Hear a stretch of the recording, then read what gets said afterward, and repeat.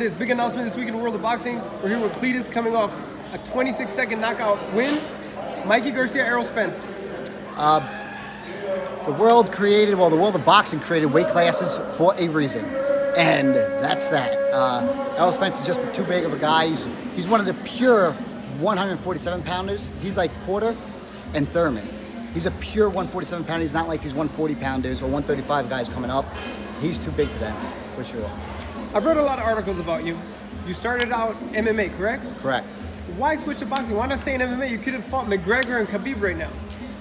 Where I was from on Long Island, they didn't have uh, legalization of mixed martial arts. So I was sitting around for about a year or two. And since I was a state champ wrestler, I had this uh, extra little push when it comes to actually being tough. Because usually in the MMA fights, you know, you, you see a fighter, they get hit in the nose and they fall on the floor. So I went to a boxing gym. These guys came in and they beat the heck out of me. I said, holy hell, this is crazy. My coach, a year later, said, you were the first wrestler to ever come in here, be able to take the punches and come back every single day. Within that one year, those kids that were beating me up every single day, I saw one thing about them. They only came to the gym about two, maybe three times a week. I started coming every single day. I hate losing.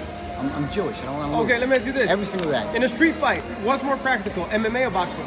If you got in a street fight, not that you do, but let's say you did. Oh, MMA for sure. Why? Because you're gonna eventually go to the ground, and if you don't have, you know, one thing is, if you're a professional fighter, you do not want to hurt your hands. I do not want to hurt my hands. If I want to hit you, I want to hit you with a body You're shot. break bones. If, I, my knuckles are crazy. I I only fought one round. Well, a few seconds. You do not want to get hit and hurt your hands. I have to, if I'm punching, I'm gonna hit you in the body shot. That's about it. That's it. okay, Josesito Lopez, Keith Thurman. Lopez is too skinny. He don't have that uh, power. Thurman, though, you know, he, he tries to box too much.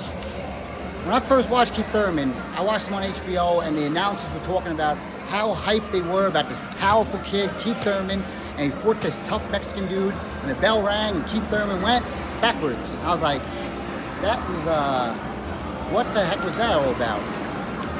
And then all of a sudden they built him up as this heavy-handed kid that punches hard, which he does, but his real thing is he has to go in there and fight coming forward and be that big, rough guy that people want to see, just like myself at 140 pounds. Well, we already know some of the HBO announcers are not very smart.